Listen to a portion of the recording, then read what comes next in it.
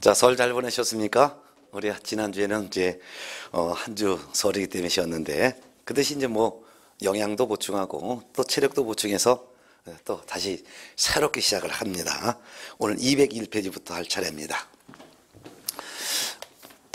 201조 개업공인중개사가 중개업을 하다가 의뢰인에게 재산적인 손해를 이제 발생시킬 수도 있어요.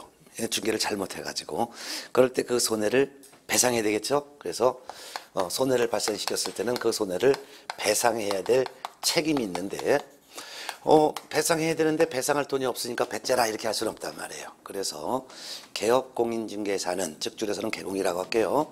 개공은 등록을 한 다음에 중개 업무를 시작하기 전에 먼저 이 손해배상 책임을 보장하기 위한 조치로서 업무 보증을 설정을 해야 됩니다. 그래서 등록이 된 다음에 그 다음에 보증을 설정하여 등록관청에 신고를 해야지만 그때서야 중개사무소 등록증을 교부하게 되고 이 등록증을 받아서 중개 업무를 하다가 손해를 발생시켰을 때는 그 손해를 배상할 책임이 없을 때 보증기관인 보험회사가 대신 배상할 수 있도록 하죠. 그래서 어, 손해배상 책임과 업무 보증 설정 이 파트를 공부합니다. 그러면 공인중개사 법령에 규정되어 있는 개업 공인중개사는 세 종류의 개업 공인중개사가 있다 그랬죠. 첫 번째는 법인인 개업 공인중개사, 두 번째는 공인중개사인 개업공인중개사 세 번째는 부칙 6조 2항에 규정된 개업공인중개사.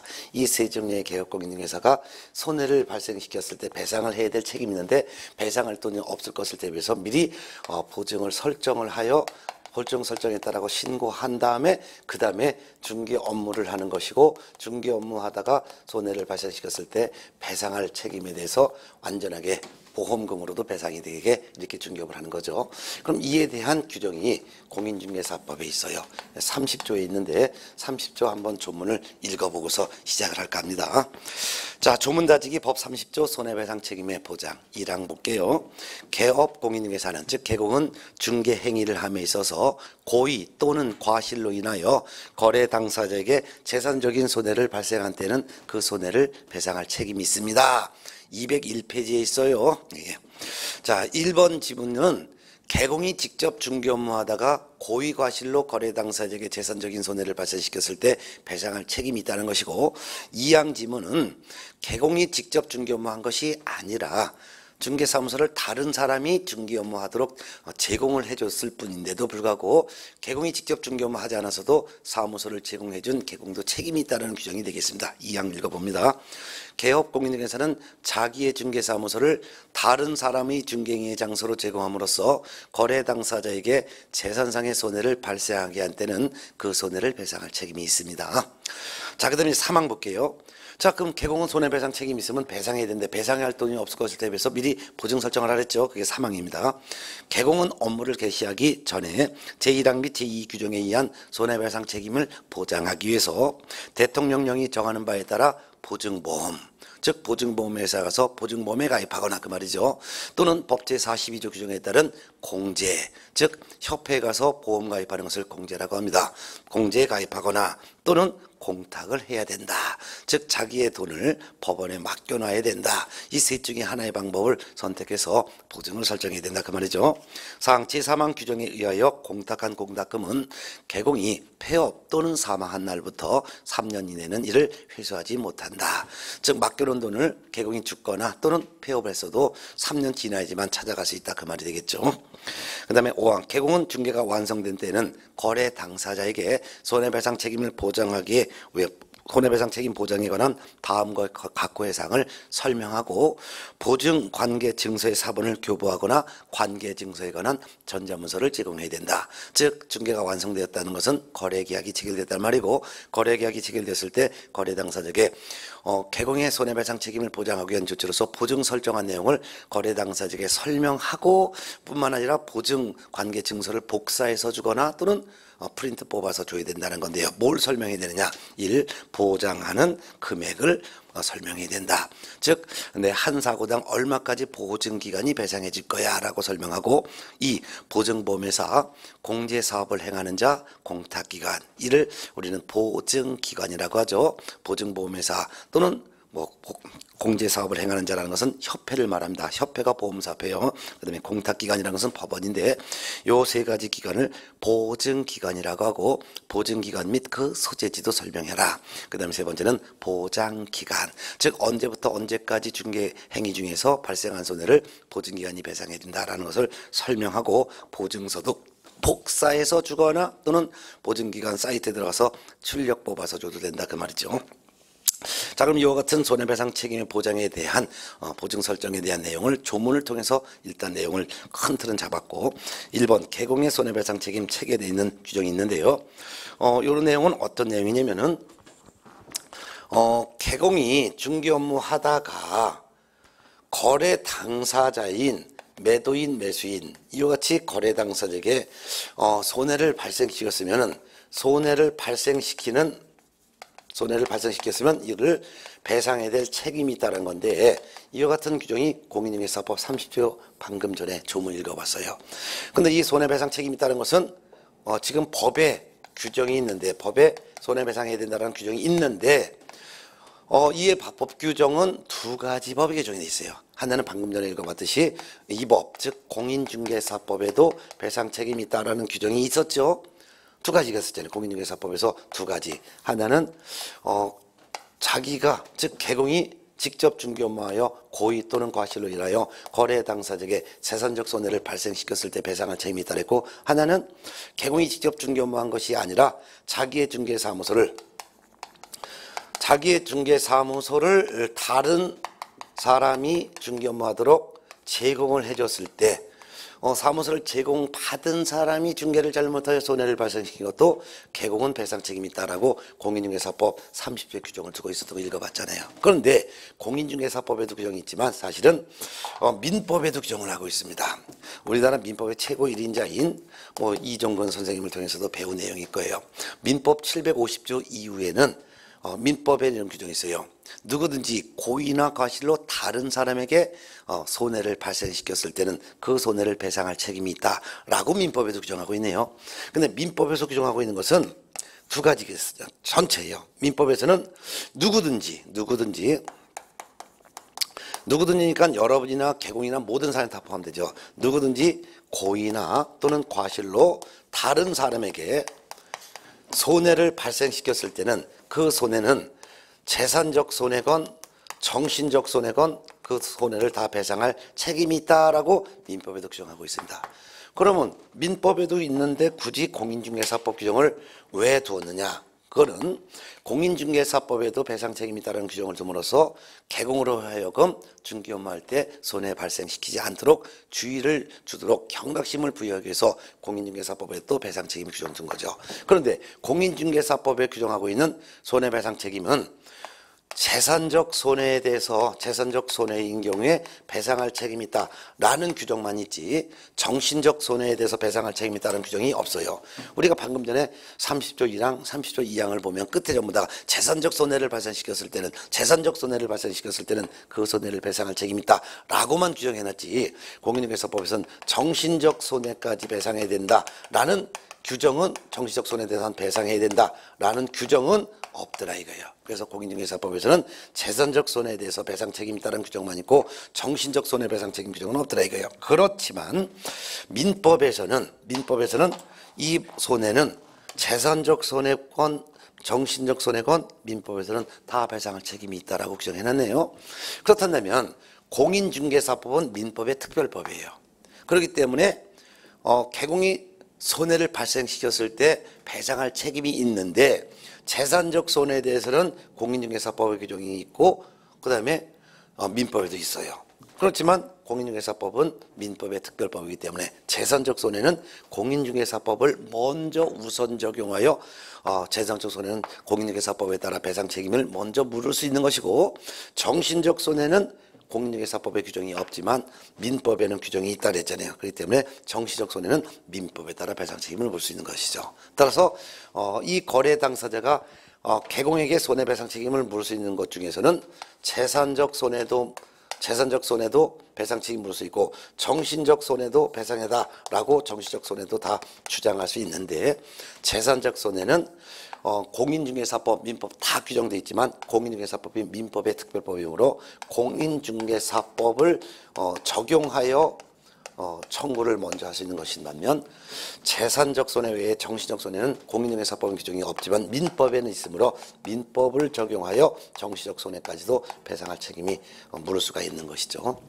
자 그러면은 이와 같이 개업 공인중개사가 거래 당사에게 발생시킨 이와 같은 재산적 손해배상 책임을 공인중개사법에 따라 배상 책임을 물을 수 있는데 배상 책임 물을 수 있는 규정이 바로 30조에 방금 전에 30조 1항, 30조 2항 이렇게 두 가지 조문이 있었어요. 그러면 30조 1항 이게 바로 이게 바로 개공의 과실 책임을 묻는 거예요. 과실 책임. 그래서 교재는 203페이지, 202페이지를 넘어가면 손해배상 책임의 내용을 보도록 하겠습니다. 자, 그러면 202쪽에 넘어와서 개업 공인중개사가 거래 당사자에게 손해배상 책임을 지는 것은 어, 지금 원칙은 과실 책임이에요. 원칙은 과실 책임이에요. 과실 책임은 개공 자체가 중개를 잘못했을 때 배상 책임을 어, 지는 것을 과실 책임이라고 하고 어, 30조 2항에서는 개공의 무과실 책임을 묻고 있어요. 이거는 예외적인 거죠. 예외적으로 개공이 직접 중개 업무한 게 아니잖아. 어, 단지 사무소만 제공해 줬잖아요. 그랬음에도 불구하고 개공은 배상 책임지는 거예요. 이 경우에는 개공이 직접 거래 당사자에게 중개를 잘못한 적이 없잖아요. 그런데도 배상 책임지는 것을 우리는 무과실 책임이라고 하는데 어, 공인중개사법에서는 과실 책임과 무과실 책임 두 가지를 규정하고 있으니까 과실 책임부터 하나하나씩 추가로 살을 지어볼게요. 어, 방금 전에 30조 1항을 봤었어요. 과실 책임. 누가는 개공은 뭐 하면서 개공이 직접 중개 업무 하면서 어떻게 했어요? 고의나 또는 과실로 고의 일부러 과실은 실수로 그 말이죠. 고의나 과실로 누구에게 거래 당사자에게 뭐 어떻게 했어요? 재산상의 손해를 발생시켰죠. 그러면 이 손해를 어떻게 되는 거예요? 개공은 배상할 책임이 있다. 요 손해를 발생시켰으면 개공은 손해를 배상할 책임이 있다. 이를 우리는 배상 책임이 있다라는 건데 이게 바로 과실 책임을 묻는 거죠. 과실 책임이라는 것은 실수로 발생한 손해, 재산적 손해도 배상할 책임이 있다 그 말이에요. 그러니 고의로 발생한 재산적 손해는 더욱 배상 책임이 있는 거죠. 이를 우리는 고의 또는 과실 둘 중에 하나라도 있으면 배상 책임이 있는 것을 우리는 과실 책임이라고 부르는 거예요. 과실 책임. 고의 또는 과실을 우리는 민법에서는 귀책 사유라고 표현하죠. 귀책 사유. 근데 이 귀책 사유라는 것은 다른 말로 하면 고의 과실도 같은 말이지만 쉽게 얘기하면 잘못하여 그 말과 같은 거예요. 그래서 고의 또는 과실이란 말이나 귀책 사유라는 말이나 잘못하여라는 말이나 다 같은 말이죠. 배상 책임지는 거예요. 예, 예. 자 그러면 손해를 입은 거래 당사자가 개공에게 재산적 손해배상 책임을 물으려면은 파란 볼펜 좀 찾겠습니다. 네. 그러면 재산적 손해를 입은 거래 당사자가 개공에게 야 배상해라 라고 배상 책임을 묻기 위해서는 개공의 잘못으로 거래 당사자가 재산적 손해를 입었다라는 원인과 결과를 이 거래 당사자가 입증해야 되는 거예요. 항상 입증 책임은 주장하는 사람이 지게 되기 때문에 어, 거래 당사자가 개공에게 야 손해배상해라라고 묻기 위해서는 개공 네가 중개를 잘못했다라는 원인 때문에 이게 인이에요. 거래 당사자인 나에게 재산상 손해라는 결과가 발생했다라는 것을 거래 당사가 입증을 해야 되는 거죠. 그래서 입증 책임은 바로 거래 당사자가 입증을 해야 되는 거예요. 입증을 해야지만 개공에게 배상 청구를 할 수가 있는 거죠. 배상 청구를 했으면 개공은 배상을 해야 되는데 배상해야 할 돈이 없을 것을 대비해서 보증기관에 가서 만일 개공이 보증을 설정했다면 보험회사가 바로 보증기관이 되겠죠? 그러면 개공은 야 거래 당사자 야 나 보험 가입했어 여기 가서 보험금 받아라 라고 하겠죠 그러면은 어, 거래 당사자는 알았어 해가지고 보증기관에 배상을 청구해서 보험금을 배상받는 거예요 보험금 배상받고 보증기관 가만히 있는 것이 아니라 개공을 상대로 구상권을 행사하는 거죠 예. 자, 이와 같은 과실 책임도 있지만 무과실 책임이 있어요. 무과실 책임은 203페이지 있습니다. 203페이지 어, 개공의 무과실 책임 보겠습니다. 자, 무과실 책임은 개공이 직접 중개 업무한 것이 아님에도 불구하고 거래 당사자가 입은 재산적 손해를 배상해야 되는 것을 무과실 책임이라고 합니다. 근데 이 무과실 책임은 아, 방금 전에 보셨던 30조 2항에도 규정되어 있지만 다른 규정에도 또 있어요. 두 가지가 있는데 그 중에서 방금 전에 보셨던 중개사무소 제공에 따른 배상 책임 볼게요. 예, 개공이 이름이 갑이라고 할게요. 개공이 자기 사무소를 직접 운영을 하지 않고 개공이 요 중개 사무소라는 것을 다른 사람 예를 들면은 을이라고 하는 다른 사람에게 타인에게 요 중개 사무소를 제공해 줬어요. 사무소를 제공을 했더니 사무소를 제공받은 요 을이라는 다른 사람이 중개 업무합니다. 중개 업무하면서 고의 또는 과실로 거래 당사자인 병 예를 들면은 어, 매수인이라고 할게요. 이 매수인에게 중개를 잘못하여 재산적인 손해를 발생시켰다라고 가정해 볼게요. 그러면 이 경우 직접 중개를 잘못한 사람은 개공이 중개를 잘못한 것이 아니라 사무소를 제공받은 을이라는 사람이 직접 중개를 잘못한 거잖아요. 그러함에도 불구하고 개공도 배상 책임이 있다는 것이죠. 어, 만일 개공이 배상 책임이 없고 사무소 제공받은 사람만 책임진다면은 어, 이 을이라는 사람은 보험도 가입된 게 아니란 말이에요. 그럼 자기가 입은 손해를 어디서 배상받을 방법이 없죠. 그래서 개공은 자기가 직접 중개를 잘못한 경우에도 배상 책임지지만 직접 중개를 잘못한 게 아니라 사무소만 다른 사람이 사용하도록 제공했다 하더라도 그 책임을 지게 되는 거죠.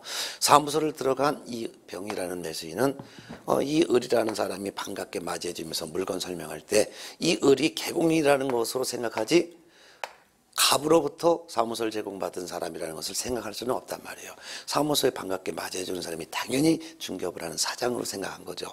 그러니 사무소를 제공받은 을이 중개를 잘못하여 손해를 발생시켰을 때 개공도 같이 책임을 지게 한 거예요.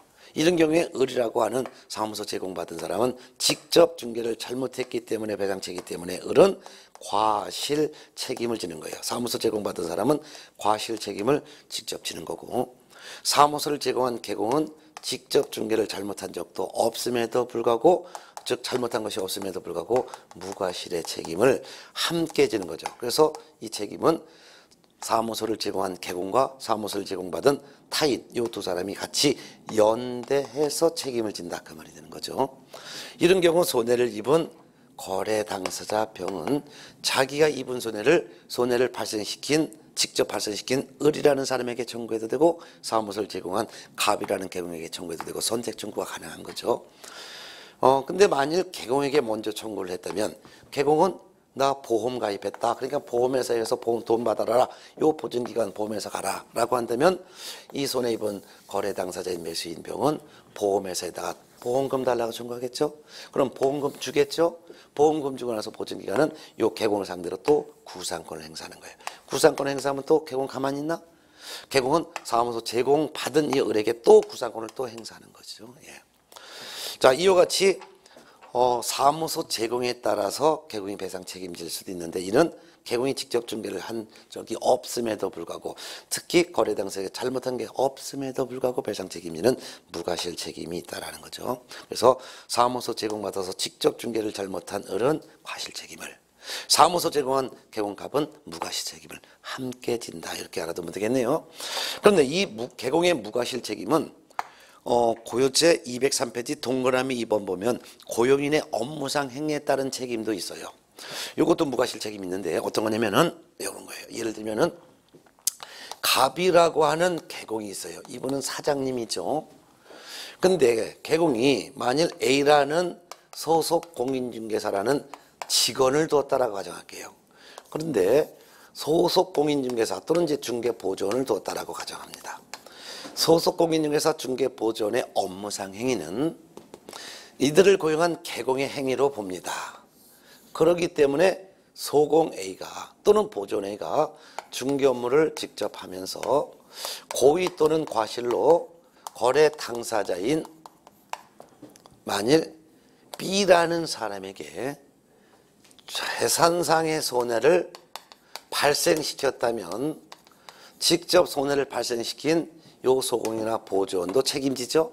소공과 보조는 직접 중개를 잘못했죠. 그러니까 과실 책임을 지는 것이고 어, 소공이나 보전의 업무상 행위는 그를 고용한 개공의 행위로 보기 때문에 개공은 직접적으로 거래 당사자에게 중개를 잘못한 사실이 없어도 배상 책임지는 무과실 책임을 함께 지는 것이죠. 어, 이런 경우에 개공의 책임은 이제 무과실 책임이 되는 것입니다.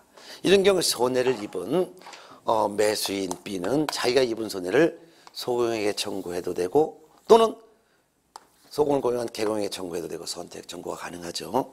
만일 개공에게 먼저 배상 청구를 했다면 개공은 나 보험 가입했어. 그러니 보증기관에 가서 보험금 받아라고 하게 되면은 거래 당사자인 매수인 B는 보험회사에 보험금 청구할 것이고 그럼 보험금 주겠지요. 보험금 주고 나서 보증기관은 이 개공을 상대로 구상권을 행사하는 것이고 구상권을 행사당해서 뺏겼으면 뺏긴 돈을 다시 개공은 요 소공이나 보존을 상대로 또 구상권을 행사하는 거죠. 자 이와 같이 개공은 직접적으로 중개를 잘못한 적이 없음에도 불구하고 배상 책임지는 무과실 책임지는 이유 즉 사유가 두 가지가 있다. 하나는 개공이 다른 사람에게 자기의 중개사무소를 제공하였고 사무소를 제공받은 사람이 중개를 잘못하여 발생시킨 손해에 대해서 개공도 사무소 제공받은 사람과 연대해서 배상 책임이 있다는 것이고 또 하나는 개공이 소공이나 보존을 고용했는데 소공이나 보존이 중개를 잘못하여 거래 당사자에게 손해를 끼쳤을 때 어, 소공 보존은 직접 행위자로서의 과실 책임을 지는 것이고 소공 보존을 고용한 개공은 무과실의 책임을 같이 연대해서 지는 것인데 이때도 역시 개공은 무과실의 책임을 지는 것이다. 그래서 공인중개사 법에 규정되어 있는 공인중개사 법에 규정되어 있는 개공의 배상 책임은 재산적인 손해배상 책임에 대해서만 규정하고 있는데 개공의 배상 책임지는 이유는 두 가지가 있다. 공인중개사법의 원칙은 개공이 직접 중개를 잘못하여 거래 당사자에게 손해를 발생시켰을 때 배상 책임지는 거. 두 번째는 개공이 직접 중개를 한 것이 아님에도 불구하고 즉 거래 당사자에게 직접 중개를 잘못한 적이 없음에도 불구하고 배상 책임지는 무과실 책임지는 경우 이렇게 두 가지가 있다라는 것을 꼭 기억해 두시고 재산적 손해배상 책임이 있을 때 배상할 돈이 없을 걸 대비해서 보증을 설정했고 보증 기관이 배상해 줬으면 보증기관은 개공을 상대로 구상권 행사해서 뺏어간다는 거 이게 가장 큰 핵심이 됩니다. 네. 특히 시험에서는 어, 203쪽에 있는 동그라미 1번 위에서 두 번째 줄 사무소 제공에 따른 책임 아주 시험에 잘 나오니까 별표해 두시기 바랍니다. 즉 개공은 자기의 중개사무소를 다른 사람의 중개의 장소로 제공함으로써 거래 당사자에게 재산상의 손해를 발생시켰을 때 그 손해를 배상할 책임이 있다는 거 아주 시험에 잘 나오니까 알아두셔야 돼요. 자 그러면은 205페이지를 넘어가서 이와 같은 재산적인 손해배상 책임을 보장하기 위해서 보증을 설정하라고 했죠. 그 보증 설정에 대한 내용을 지금부터 설명을 드릴 것입니다. 그럼 이거 지울까 합니다. 예. 예. 어, 뭐 판서 같은 경우는 그냥 어, 이해를 돕기 위해서 이렇게, 이렇게 판서한 거지 판서를 뭐 그대로 뺏길 필요는 없어요. 그냥 뭐 머릿속에 쭉 정리가 돼야 될 거예요. 자 그러면 손해배상 책임을 보장하기 위해서 중개업무 개시하기 전에 먼저 보증을 설정하여 신고하여 등록증을 교부받은 다음에 이제 중개업을 시작하는 게 바로 이제 개공의 의무였죠. 그러면 205페이지 업무 보증 설정 보도록 하겠습니다. 205페이지. 자, 이쯤에다 쓸까요? 네. 205페이지 개공의 업무 보증 설정. 자, 업무 보증 설정도 해마다 항상 한 문제가 출제되니까 전체적으로 별표 하나 해놓으세요. 한 문제가 꼭 나옵니다. 어, 개공은 업무 보증을 설정해야 될 의무가 있다 했어요. 근데 언제 업무 보증 설정했냐? 개공이 된 다음입니다. 개공이 보증을 설정해야 될 의무가 있다는 것이니까 개공이란 중개사무소 개설 등록을 한 자가 개공이죠. 그러니까 등록을 했으면 등록을 했으면 보증을 설정하나 이거예요. 그래서 맨 처음에 등록부터 하여 개공이 되고 그 다음에 보증 설정하고 그 다음에 업무를 개시하라 그 말이에요. 결국 보증 설정을 해야 될 시기는 등록이 된 다음 즉 개공이 다한 다음에 업무 개시 전에 보증을 설정하는 거죠. 중요한 것은 시험에 항상 잘 나오는 게 중개사무소 개설 등록을 신청하는 자는 업무 보증을 설정하여 하면 틀리는 거예요. 등록을 신청하는 자가 보증을 설정할 의무가 있는 것이 아니라 등록을 한 자, 즉 등록이 된 다음에서의 보증이 설정이 가능한 거예요. 만일 아직 등록이 되지 않은 상태에서 보증을 설정해야 되고 등록이 되지 않은 상태, 즉 무등록 상태에서 중개업을 잘못한 것도 보험금으로 배상해야 된다면 이거는 오히려 국가가 개, 보, 무, 어, 무등록 중개업을 하도록 오히려 조장한 꼴이 되는 거예요. 그래서 처음 보증 설정은 등록을 한 다음부터 보증 설정이 가능한 것이지 등록하기 전에 즉 등록을 신청하기 전에 미리 보증을 설정하는 게 아니라는 거 아주 아주 중요하니까 꼭 알아두세요. 그래서 어, 보증 설정은 등록이 된부터 가능한 겁니다. 자 그러면은 어, 교재 205페이지 동그라미 본 설정 및 신고 한번 읽어볼게요. 개공은 업무를 개시하기 전에 이렇게 나와있죠. 업무 개시 전입니다. 업무 개시 전이지 등록을 신청하는 때 해도 들리고 등 업무를 개시한 때에는 지체 없이 해도 들리는 거예요. 그래서 업무 개시 전 개공은 즉 등록을 하였으면 업무 개시하기 전에 손해배상 책임을 보장하기 위해서 보증보험에 가입하거나 공제에 가입하거나 공탁을 해야 된다 그 말입니다. 그럼 뭐 보증 설정했으면 가입했다고 등록한 측에 신고를 해야 되는 거죠. 예. 그래야지만 등록증 받습니다. 자, 근데 박스 밑에 보면 동그라미 보면 위반이라고 있을 거예요. 즉 개공이 업무 개시 전에 손해배상 책임을 보장하기 위한 조치로서 업무 보증 설정하지 않고 업무를 이제 개시를 했다면 등록을 취소할 수 있습니다. 등록 취소할 수 있다는 것은 등록을 취소하거나 또는 업무 정지 처분하거나 둘 중에 하나 행정 처분할 수 있다 그 말이죠. 자 그러면 보증 반가래번 보증 설정 사실의 설명 시기는 중개 완성된 때 이렇게 돼 있어요. 그러면 개공이 되었으면 업무 개시 전에 보증을 설정하여 신고하고 그 다음에 업무를 개시하는 거죠. 업무 개시하다가 중개를 완성시켰어요. 중개를 완성시켰다는 말은 거래 계약을 체결시켰다 그 말이죠.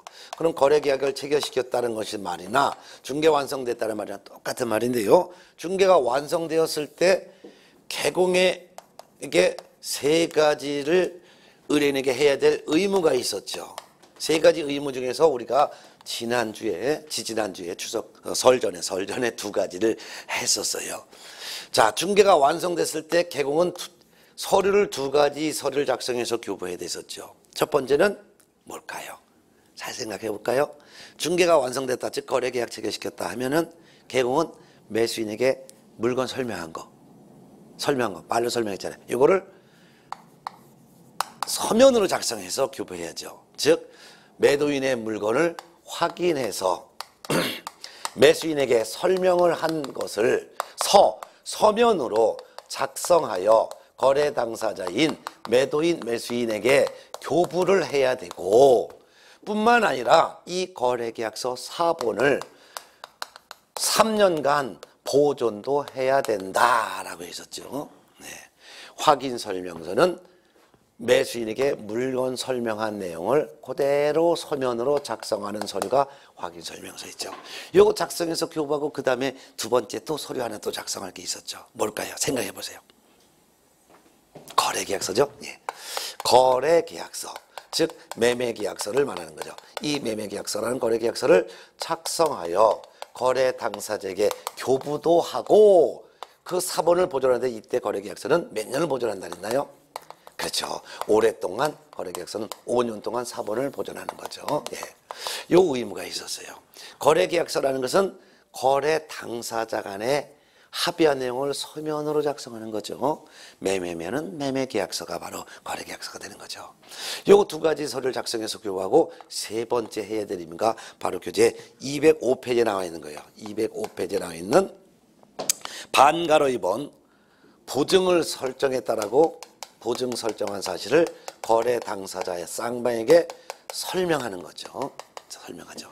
설명하고뿐만 아니라 and 설명하고 and 보증 관계 증서 즉 보증 서류를 복사해서 그 사본을 거래 당사자에게 교부하거나 또는 복사해서 교부하는 거 불편하면 보험회사 사이트에 들어가서 보험 가입한 내용이 화면에 뜨죠. 이걸 그대로 출력받아서 줘도 돼요. 이를 관계증서에 관한 전자문서라고 하죠. 전자문서를 거래당사에게 교부 제공을 해도 되죠.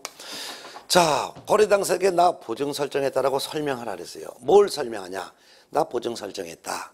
그 얼마에냐? 보장 금액 이뤄서 뭐 그 보장 금액 1억 원을 보험 가입했다. 보험 가입한 보증 기관은 어디에 있다? 기관의 명칭. 그리고 그 보증 보험회사의 소재지는 어디에 있다?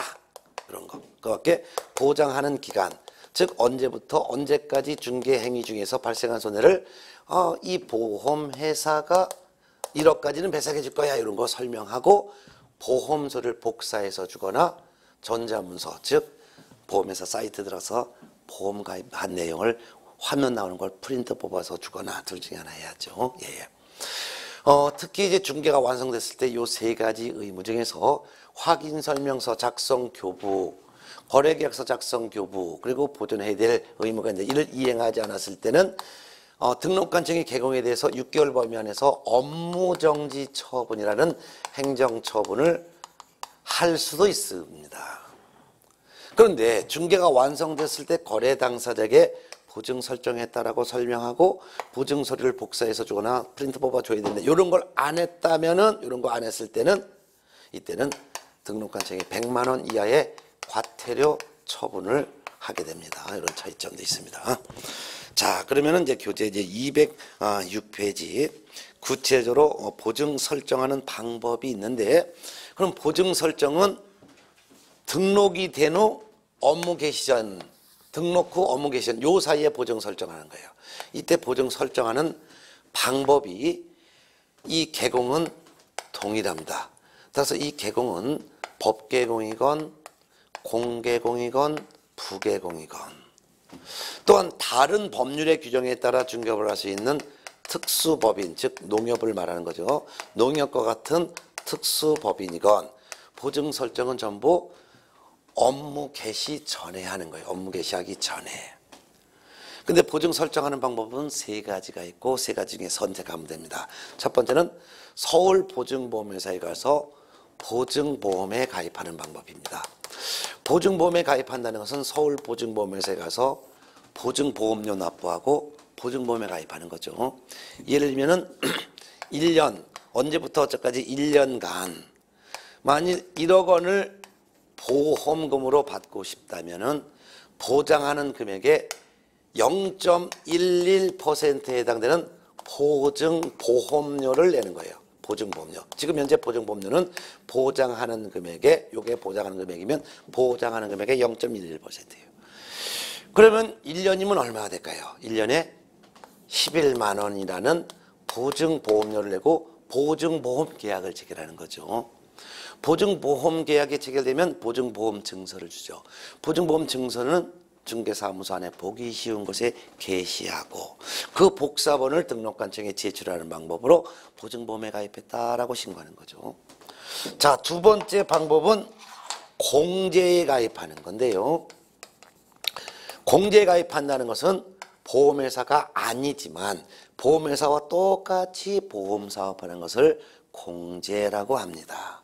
지금 현재는 공인중개사 협회가 보험회사가 아님에도 불구하고 보험회사와 똑같이 보험사업을 하고 있어요. 이것도 보장하는 기간을 1년이라고 한다면 그 중에서 내가 보험 공제금으로 배상받고 싶다면 보장받고 싶은 금액의 0.198%에 해당되는 공제료를 납부하고 개공과 협회가 공제계약을 체결하는 거예요. 보증보험은 개공과 보증보험회사가 보증보험 계약을 체결하는 것이고 공제 가입한다는 말은 개공이 협회 가서 공제 계약을 체결하는 거예요. 그러면 1년에 19만 8천 원이라고 하는 공제료를 내고서 공제 가입하는 거죠. 그런 거죠. 똑같아요, 내용은. 단지 보험료, 공제료가 좀 차이가 날 뿐이죠. 그러면은, 어, 서울 보증보험에 가입하면은 1년에 11만 원이면 1억 보장해 주는데 협회 가서 보험 가입하면 1년에 19만 8천 원을 내야지만 1억 원을 보장해 준다네. 그러면 너도 나도 좀 다가 보증보험에 가입할 가능성이 높지요. 그렇지만 지금 현재는 협회에 가입한 개공도 상당히 많습니다. 그 이유가 우리가 어, 설 전에 부동산 거래 정보망이라는 거 공부하신 거 기억났나 모르겠습니다. 부동산 거래 정보망을 설치 운영할 자로 지정을 받은 사람이 지금 현재 협회밖에 없습니다. 근데 협회가 운영하는 부동산 거래 정보망에 가입하여 정보를 광고하고 광고가 되어 있는 정보를 검색하고자 하는 개공은 그 부동산 거래 정보망을 설치 운영하는 협회에 그 가입비를 내야 되는데 그 비용을 협회가 운영하는 공제 가입하면 별도로 부동산 거래 정보망 이용료 안 내고도 그냥 정보망을 이용할 수 있도록 특혜를 해주고 있대요 요새. 그래서 아무래도 아마 어, 개공 등이 보호 공제료가 더 비싼데도 불구하고 그 부동산 거래 정보망 공짜로 이용할 수 있기 때문에 아마 협회 가입하고 있지 않나 저는 그렇게 생각이 듭니다. 이거는 뭐 개공마다 자기 생각이 다르면 또 다를 수도 있겠죠. 자, 세 번째 방법은 공탁하는 거예요. 공탁에 가입한다. 공탁에 가입한다는 말은 개공이 공탁은 법원에 가서 법원에 가서 개공 자신의 현금이나 또는 국채나 공채를 맡겨놓는 거예요. 맡겨놓는 것을 우리는 공탁이라고 합니다. 개인이 자기의 돈을 개인에게 맡긴다 또는 개인이 개인의 물건을 개인에게 맡긴다는 것을 우리는 임치라고 표현하죠. 아마 이종근 민법 선생님에서 민법에서 그렇게 배우셨을 거예요. 근데 개인이 개인한테 맡기는 게 아니라 국가에 맡기는 것을 우리는 공탁이라고 표현하죠. 예. 이렇게 공탁을 하는 거예요. 그럼 이 셋 중에 하나의 방법으로 보증을 설정했고 나중에 중개 업무하다가 만일 손해를 발생시키는 재산적인 손해가 발생되었을 때 개공이 만일 보증보험에 가입했으면 보증보험회사에 가서 의뢰인은 보증보험금을 받는 것이고 만일 개공이 협회에 공제 가입했으면 의뢰인은 협회에 가서 공제금을 배상받는 것이고 만일 개공이 공탁에 가입했으면 그 법원에 가서 법 개공이 맡겨놓은 이 돈을 찾아가는 거죠. 이런 방법이에요. 이셋 중에 하나의 방법입니다. 어, 특히 이세 가지 중에서 보증보험과 공제는 명칭은 다르지만 똑같은 성격이에요. 똑같은 성격이기 때문에 보장기간 딱 끝나면 납부 한도는 환불받지 못하고 소멸되는 거죠. 근데 공탁은 개공의 돈을 법원에 맡겨놓은 거예요. 따라서 배상하지 않는 한 그 돈은 계속 법원에 보관되고 있는 것이죠. 특히 세 가지 중에 하나만을 선택하는 거지 여기도 여기도 여기도 이중 삼중으로 가입하는 것은 허용하지 않고 있습니다. 그래서 셋 중에 하나의 방법만 가능하다는 거. 특히 공탁으로 자기 돈을 법원에 개공이 맡겼는데 이 공탁한 개공이 공탁을 하고 나서 돈을 맡겨놓고 나서 나중에 사망할 수도 있죠. 또는 폐업할 수도 있죠. 사망 또는 폐업. 하더라도 사망 폐업 후 3년 이내에는 이 돈을 회수하지 못해요. 왜냐면 어, 여러분 민법 이종근법에서 어, 손해를 입은 사람이 손해를 가한 자에게 배상을 청구할 수 있는 시기는 손해 및 그 가해자를 안 날부터 3년 이내 청구해야 된다. 3년이 지나될 때까지 청구하지 않으면 이는 청구할 수 없다. 이를 우리는 권리 위에 잠자는 자를 보호하지 않는다.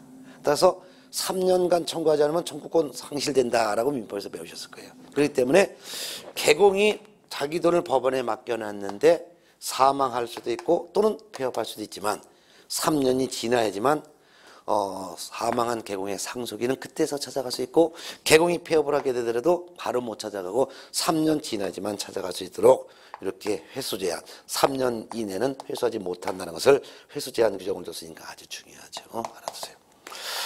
자 그러면은 이와 같이 보증 설정 세 가지 방법 중에 하나 설정하는데 보증 설정해야 될 금액은 얼마냐? 207페이지에 나와 있는데 207페이지에 개공별로 보증 설정해야 될 금액은 차이가 있습니다. 아주 중요하니까 외워두셔야 돼요. 어, 법개공은 2억 원 이상의 보증을 설정해야 됩니다. 최소 2억 원 이상이에요. 최소 2억 원 이상.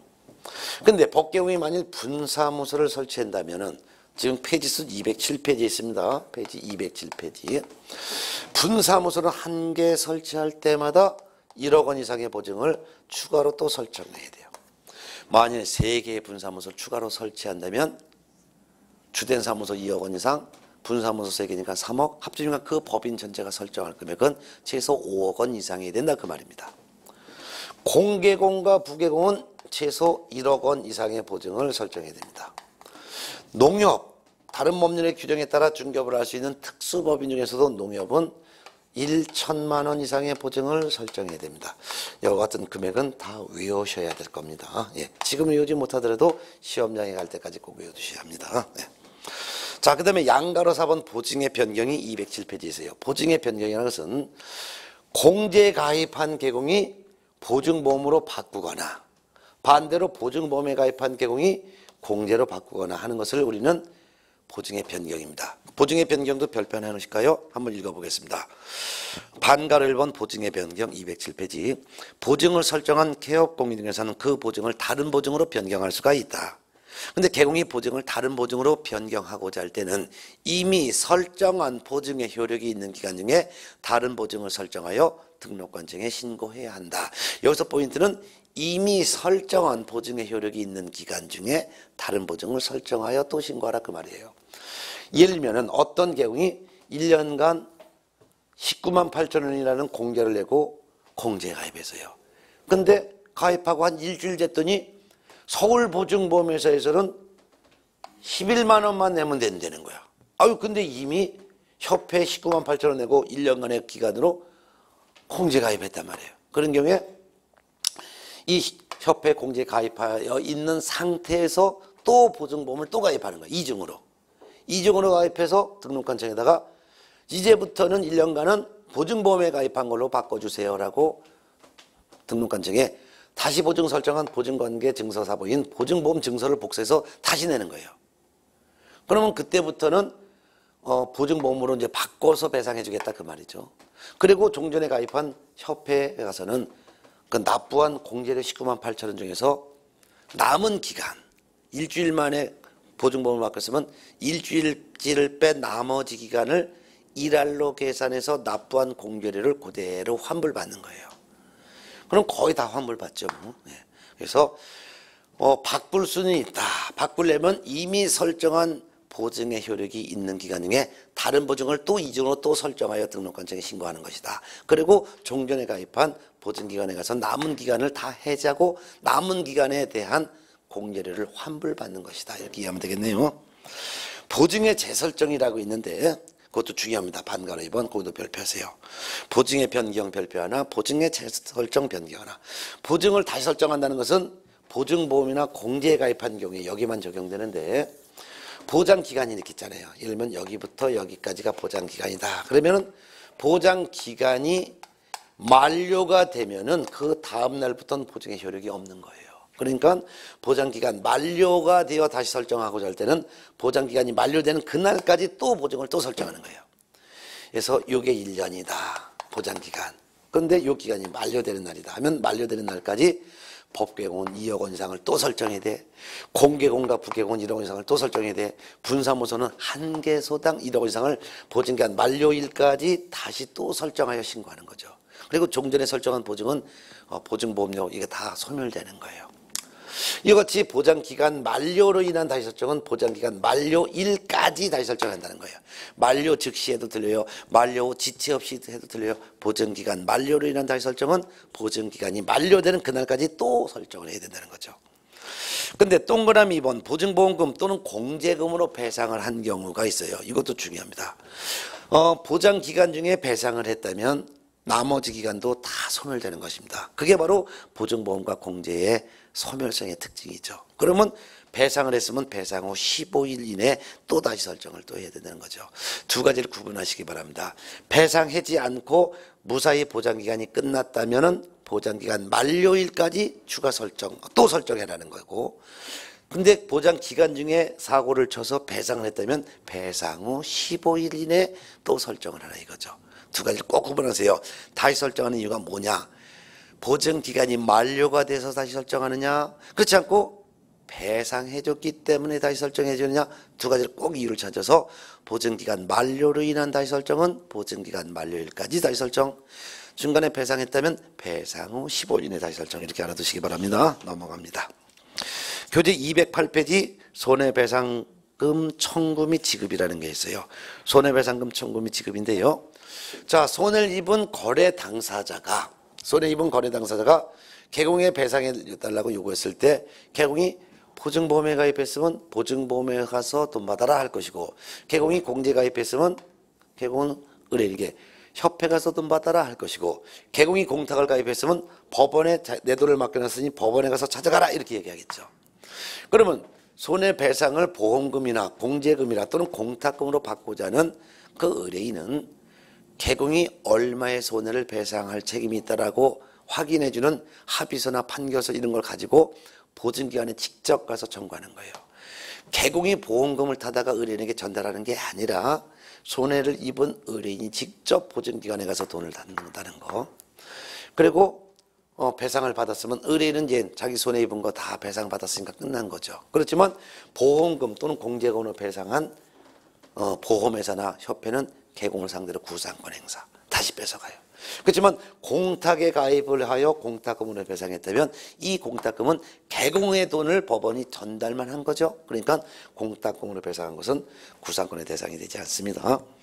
어, 특히 아주 중요한 게 208페이지 반가로 3번 배상 후의 조치가 아주 중요하니까 별표 놓으시기 바랍니다. 읽어볼까요?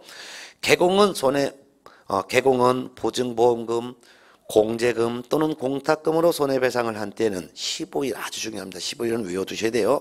15일 이내에 보증보험 또는 공제에 다시 가입하거나 공탁금 중 부족하게 된 금액을 보전해야 합니다. 즉 보험금이나 공제금으로 배상했으면 개공 15일 이내 다시 설정해야 되는 것이고 공탁금으로 배상했으면 배상 후 15일 이내 부족하게 된 금액이 있으면 그걸 채워놔야 된다 그 말이죠. 15일이라는 날짜 외워두시기 바랍니다. 자 이렇게 해서 어, 이번 시간에는 어, 손해배상 책임과 업무 보증 설정에 대한 내용을 정리했습니다. 자 그러면은 여기까지 해서 해마다 한, 한 문제가 꼭 나오는 건데 한번 오늘 첫째 시간에 한 거 한번 정리해 볼까요? 어, 개공이 거래 당사자인 매수인에게 재산적인 손해를 배상해야 될 책임 규정이 공인중개사법에 있다. 하나는 직접 중개를 잘못했을 때 배상 책임이 있다는 규정도 있고 두 번째는 개공이 직접 중개를 잘못한 적이 없는데도 불구하고 배상 책임이 있다는 규정이 있다. 직접 배상 책임이 어, 직접 중개를 잘못한 경우는 개공이 중개업무를 직접 하면서 고의 또는 과실로 거래 당사자에게 재산상 손해를 발생시켰을 때 배상 책임이 있다는 거고 어, 무과실 책임이라는 것은 개공이 직접 중개를 잘못한 게 없음에도 불구하고 배상 책임지는 경우가 있는데 하나는 중개사무소를 다른 사람이 중개하도록 제공한 경우 또 하나는 소공이나 보조원이 중개를 잘못한 경우. 이와 같은 재산적 손해배상 책임을 보장하기 위해서 업무 개시 전에 보증보험 공제 또는 공탁 중에 하나의 보증을 설정하여 신고해야 되는 것이다. 자, 이 경우 보증보험 공제 공탁 중에 하나를 설정하는데 어, 보증 설정은 등록이 되는 업무 개시 전에 하는 거다. 근데 중개가 완성되었을 때는 보증 설정 사실을 거래 당사에게 설명도 하고 보증서를 복사해서 주는 것이다. 이때 중개 업무 개시 전에 보증 설정하는 방법은 보증보험 가입, 공제 가입, 공탁. 셋 중에 하나다. 설정 금액은 법개공 2억 원 이상, 부둔사무소는 한 개수당 1억 원 이상, 공개공과 부개공은 1억 원 이상, 농협은 천만 원 이상의 보증을 설정하는 것이다. 보증을 변경할 수도 있는데 어, 이미 설정한 보증의 효력이 있는 기간 중에 다른 보증으로 바꿀 수도 있다. 어, 또한 배상을 했으면은 15일 이내 다시 가입하거나 부족하게 된 금액을 보전해야 된다. 이런 것도 정리했습니다. 자, 이번 시간 이와 같이 손해배상 책임과 업무 보증 설정을 했고 어, 쉬었다가 다음 시간에는 교재는 211쪽에 있는 계약금 등의 반환 채무 이행의 보장 연속해서 개공의 보수 요거를 다음 시간에 하겠습니다. 그래서 다음 시간에는 211페이지에서 다시 뵙겠습니다.